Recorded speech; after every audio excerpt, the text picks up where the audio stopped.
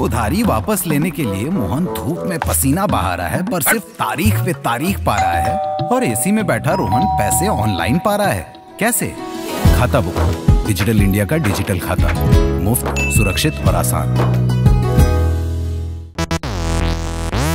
Hello, आप देख रहे हैं दिललन टॉप। एक्टर कुशल पंजाबी की खुदकुशी के बाद टीवी इंडस्ट्री में काम ना मिलने का प्रेशर और डिप्रेशन पर बहस शुरू हो गई है। कुशल के करीबी दोस्त और एक्टर चेतन हंसराज ने बताया था कि कुशल लंबे वक्त से डिप्रेशन से जूझ रहे थे, लेकिन उन्होंने इसके बारे में किसी से बात नहीं की। कई और टीवी एक्टर्स ने ये सवाल उठाया कि अगर कुशल डिप्रेशन में थे या उनकी मानसिक स्थिति ठीक नहीं चल रही थी तो उन्होंने प्रोफेशनल हेल्प क्यों नहीं ली?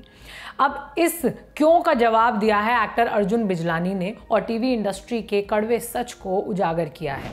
अर्जुन टीवी के पॉपुलर एक्टर हैं। वो मिले जब हम तुम इश्क में मर जावा, नागिन और मेरी आशिकी तुमसे ही, जैसे सीरियल्स में काम कर चुके हैं।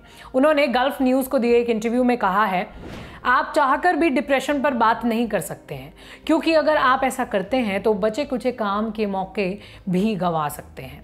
अगर लोगों को पता चल गया कि आप डिप्रेशन में हैं तो वो आपको काम नहीं देंगे। एक्टर्स के लिए कभी कभी ये बहुत अजीब सी सिचुएशन हो जाती है। वो इसके बारे में बात करना चाहते हैं, लेकिन नहीं कर सकते, क्योंकि उन्हें समझ नहीं आता कि कौन विश्वास के लायक है। असल में ये बहुत दुखद स्थिति है। उपाय ये है कि एक सोसाइटी होने के नाते हमें ही कुछ बदलाव लाने होंगे। डिप्रेशन को लेकर और जागरूकता लाने की ज़रूरत है। कुछ सेंटर्स बनाने चाहिए और इनका नंबर सभी के पास होना चाहिए। अगर आप डिप्रेशन महसूस कर रहे हैं या खुदकुशी जैसे ख्याल आ रहे हैं तो उन नंबर्स पर आप बात कर सकें। कम से कम इतना हो कि इन नंबर पर कॉल करके उस वक्त लोग बात कर सकें। अर्जुन ने सोशल मीडिया को भी लोगों की ज़िंदगी में तनाव तनाव और उदासी बढ़ाने के लिए जिम्मेदार बताया है। आजकल सोशल मीडिया की वजह से आप दूसरों की पोस्ट देखते हो और लगता है कि फलाना कितना खुश है। आप पहले से डिप्रेशन में होते हो और दूसरों की लाइफ परफेक्ट समझकर और उन्हें खुश देखकर आप और ज़्यादा डिप्रेस हो जाते हो। आपको लगता है कि आपकी ज़िंदगी में ही सारी चीज़ें गलत हो रही हैं और बाकी सबकी लाइफ में सब कुछ अच्छा चल रहा है। लेकिन हर चमकने वाली चीज़ सोना नहीं होती।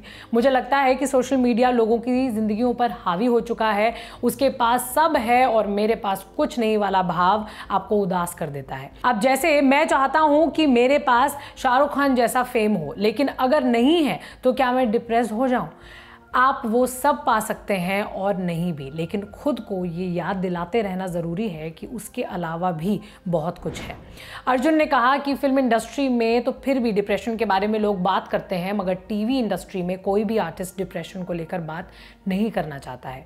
और कई लोग सिर्फ़ काम के मौके नहीं मिलेंगे ये सोचकर घुटते रहते हैं, जिनमें से एक नाम कुशल पंजाबी भी रहा। रही कुशल की डेथ की बात तो 26 दिसंबर को उन्होंने खुदकुशी कर ली थी। उनकी बॉडी उनके फ्लैट पर पंखे से लटकी हुई मिली थी। उनके पास से एक सुसाइड नोट भी मिला था, जिसमें उन्होंने लिखा था कि उनकी मौत के लिए कोई जिम्मेदार नहीं है। ये वीडियो यहीं तक। आप इस बारे में क्या सोचते हैं? डिप्रेशन के बारे में आपका क्या कहना है? ज़रूर कमेंट बॉक्स में लिखें। ऐसी और वीडियोस के लिए फॉलो करते रहिए दी टॉप ये वीडियो देखने के लिए शुक्रिया।